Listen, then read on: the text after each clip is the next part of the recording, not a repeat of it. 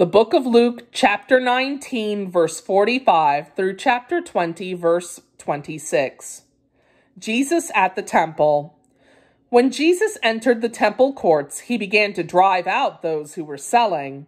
It is written, he said to them, My house will be a house of prayer, but you have made it a den of robbers. Every day he was teaching at the temple, but the chief priests, the teachers of the law, and the leaders among the people were trying to kill him. Yet they could not find any way to do it because all the people hung on his words. The authority of Jesus questioned.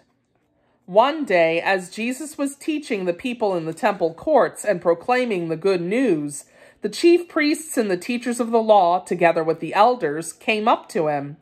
Tell us by what authority you are doing these things, they said. Who gave you this authority? He replied, I will also ask you a question. Tell me, John's baptism, was it from heaven or human origin?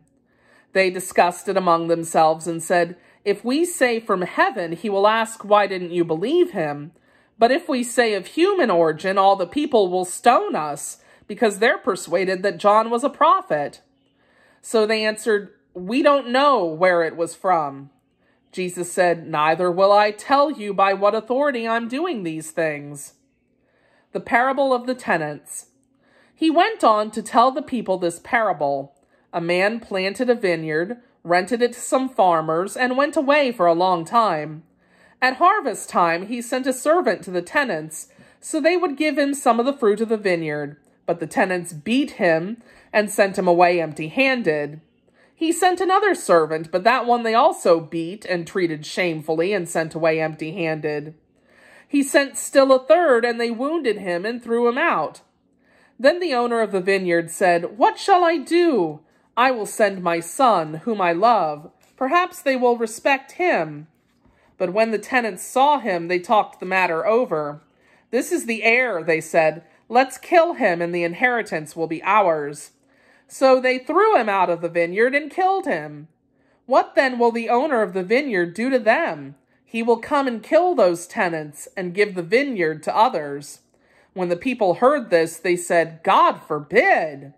Jesus looked directly at them and asked, Then what is the meaning of that which is written? The stone the builders rejected has become the cornerstone.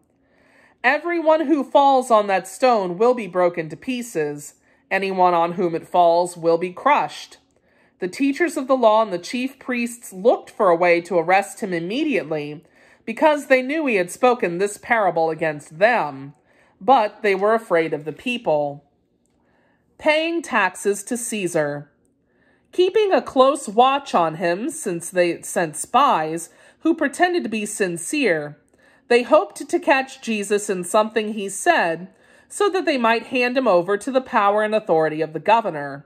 So the spies questioned him, Teacher, we know that you speak and teach what is right, and that you do not show partiality, but teach the way of God in accordance with the truth.